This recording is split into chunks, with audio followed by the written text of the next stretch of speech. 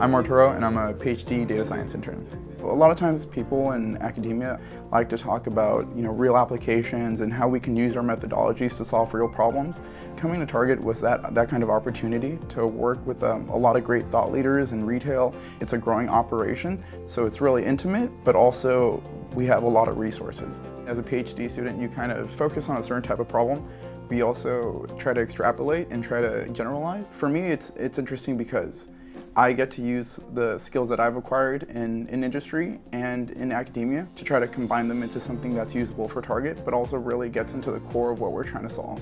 I think what I liked about Target is they've given me an opportunity to tackle this um, kind of general problem, which is forecasting. Part of forecasting is trying to predict these things in advance so that we're able to accommodate our guests. My project has to do with forecasting in the sense that um, we're incorporating two types of different statistical methods. We're incorporating machine learning and time series analysis in a way that we haven't seen before. You want to think about something like demand. On this day, a certain amount of consumers or guests are going to come into Target and they want to buy this product we want to make sure that we're able to provide our guests with that product. So we have to make sure that we have these things in stock. It's, it's primarily my mentor Chad and I that are working on it. So I think that's like kind of the cool part about being a PhD intern that I think we both kind of grow from each other. So he's as much as my mentor as he is my colleague. And I could say a lot of that about um, my other coworkers and, and even some of my bosses that we all learn from each other. I think a lot of different companies nowadays are tackling a lot of the same internet scale problems, information retrieval, recommendations, etc.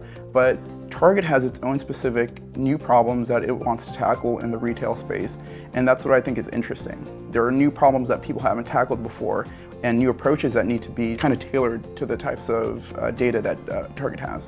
They're, they're really trying to explore a lot of different things, but I think it all comes down to providing a better uh, experience to the guest. If you want to do something well in retail, I think you have to play off your strengths. And then so that's what Target is doing. It's trying to incorporate all this data that they've collected over the years and use it to provide people with experience that they'll enjoy.